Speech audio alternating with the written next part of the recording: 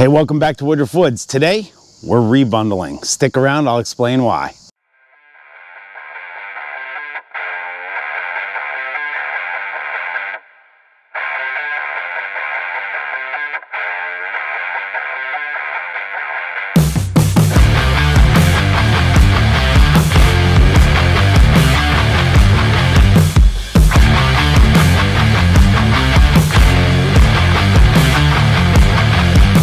So as I mentioned, we're rebundling today. This is one of the pallets that lovely Lisa uh, wrapped while I was um, on a business trip. I'm not sure which one at this point. But unfortunately, I have to leave tomorrow as well.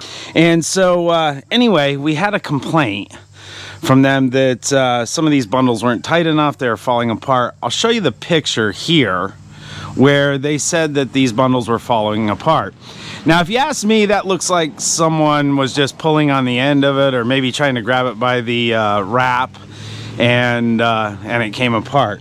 I can tell you trying to bring this pallet up here uh, without it being wrapped, uh, I dropped, uh, I think it was 11 bundles. You might be able to see them back there on that other pallet and not one of them broke apart. So I think it's probably more the user error, but nonetheless, I want to make the customer happy. So what we're going to do is we're going to take these bundles and we're going to wrap them on the brute force and uh, see if it tightens them up a little bit and uh, maybe we can solve our problem, make the customer more happy about the product that they're getting. So we got lovely Lisa here. She's going to help and she's grabbing one of her bundles. And as you can see, that doesn't look too bad to me. Oh, I did a good job. But uh, apparently some of the customers thought that they weren't wrapped tight enough. Get a little closer. But you can see we ran out of labels and we were using some of these stickers that I have. And uh, you can see they faded real bad in the sunlight. So we're going to put one of our new ones on. I showed you those in a re recent video. And uh, we're going to try to make this look a little bit better. One, two, three. Okay, where's the label?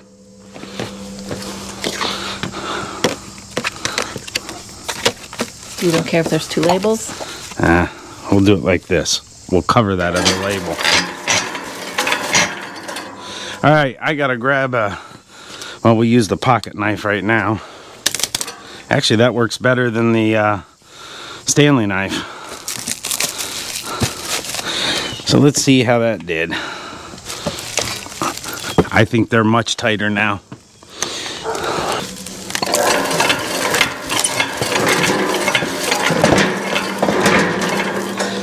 You know, it's because these bundles are um, wrapped in a different bundler, I think is what's causing this. So, we're gonna... So even though this bundler has these marks in it, for the different sizes of wood, uh, you know, cubic feet wise. If I'm down here, I get a rather rectangular bundle. And we may just try that with one of these and just see what it looks like. But uh, the customer really kind of likes them squared up. So I'm thinking I might actually drill this and put little blocks of wood in here to narrow this up. I know some of the other bundlers, in particular the Twister, I know has has another um, rack that sits in the middle here. I actually may fab one of those as well. Uh, I'll have to see what I come up with here, but uh, I think I'm going to mount something in here to, to do that. But uh, we'll see how it turns out before I go drilling holes into the new bundler. So you can see we're kind of up to this first notch here. And uh, we're going to wrap this, see what it looks like.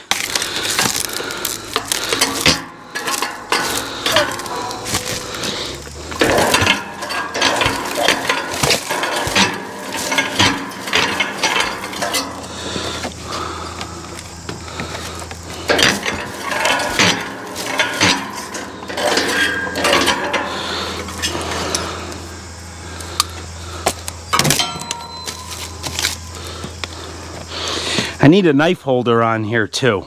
I think I'm going to build a magnetic one that can just hang down here on the side somewhere.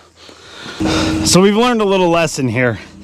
As you know, a few weeks ago, Lisa wrapped these and, um, you know, we, we were going through them faster earlier. We hit a little bit of a rainy spell and people weren't buying as quickly. So these were wrapped for a couple of weeks outside. And if you look, we're getting some mold where the where the plastic was.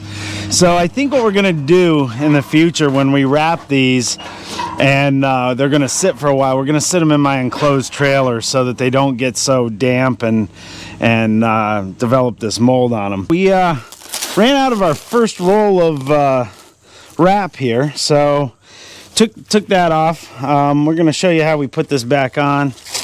So I don't know, you got going here, Elise? Um, get that on like that. I show you these are kind of flanged so that they fit right in there. And then uh, put the spring on to tension. And then we put the nut on here. Um, pretty straightforward. Um, I'll have to mess around with this tension.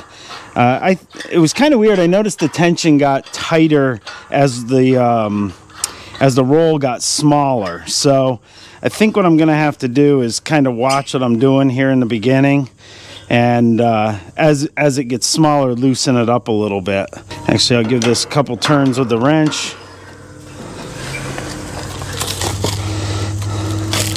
Lovely Lisa tossing them up in there like crazy.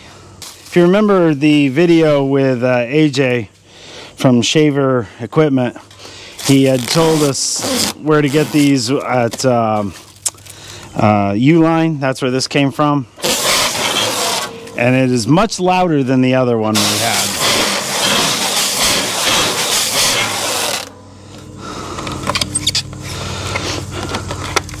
So uh, I'll have to go watch KNL's video again on what the, the quiet stuff is.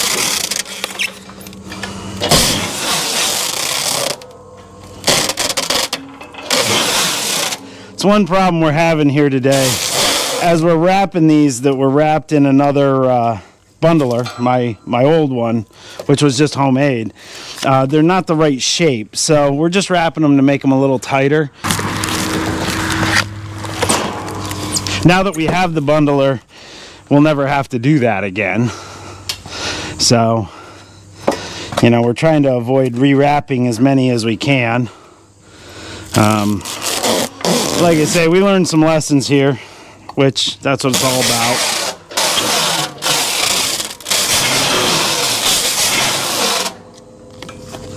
We'll have to watch KNL's video. Mike over there did a video on, on I think it's blown versus extruded or something. I don't really remember, but that's why I have to go watch his video again. But uh, if you have a bundler, you're noticing the difference in the sound here and uh, it has something to do with with how the plastic's made. So don't really remember.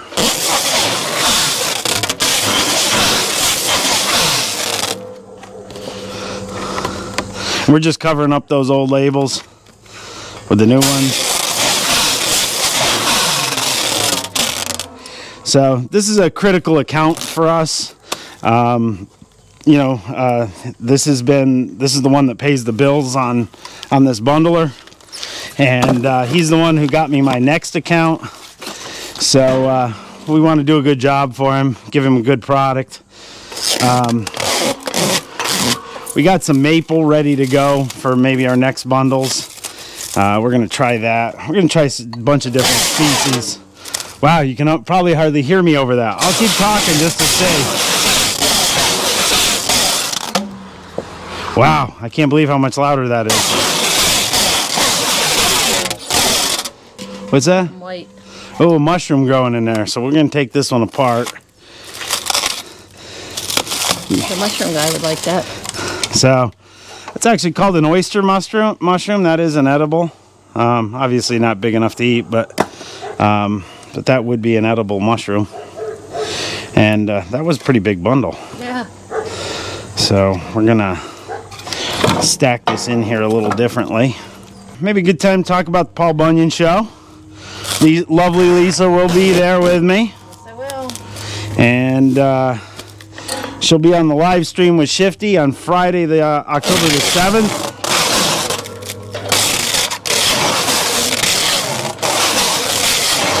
I'll be label. handling Shibe. Yeah, she is actually Shibe's handler because we understand that uh, Sam can't make it. So, um, uh, we definitely have too much tension on this, but uh, we'll fix that here, here in just a minute. What I find is, is if you take too much of this off, it, it starts to bunch up and then it doesn't look good, good in the bundle. We got some mold in that one. Yeah. All right, lovely Lisa's gonna cut that. We're gonna change that blade in that too. That thing's, I can look sharper than that knife. I'm sure all the YouTubers agree. Uh, maybe not. Maybe not. So if you haven't been to the Bunyan show, I gotta tell you, when I went there last year, I was just surprised how large it was, and uh, it is really a good time. Um, you know, last year I think Lisa reluctantly attended, but it was my birthday, so uh, she felt she had to go. But I think in the end, she thought she had a pretty good time. Is that right? Yeah, I did. I enjoyed it. I'll probably enjoy it even more this year.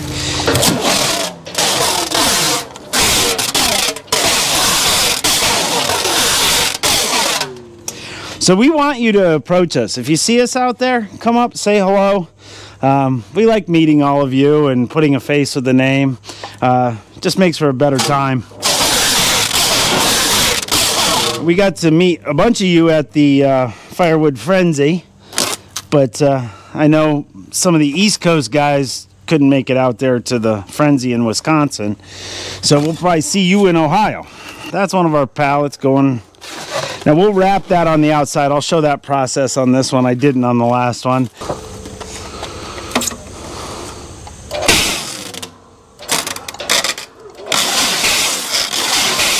See feather in that uh, pedal there. You know, as we're getting used to it, it's becoming easier to, to manipulate.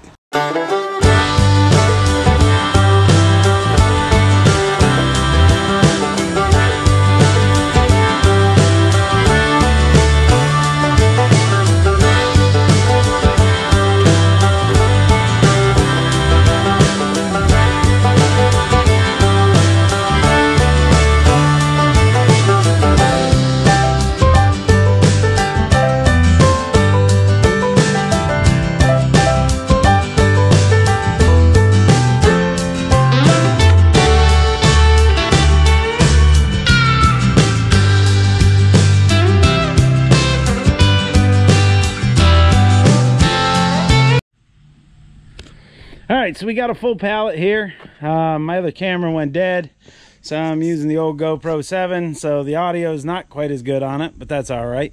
So uh, we're gonna actually move this tote here that Lisa's sleeping on, and uh, we're gonna move it out of the way, pull this pallet out just a hair so we can get around it, and we'll show you the process of wrapping this thing.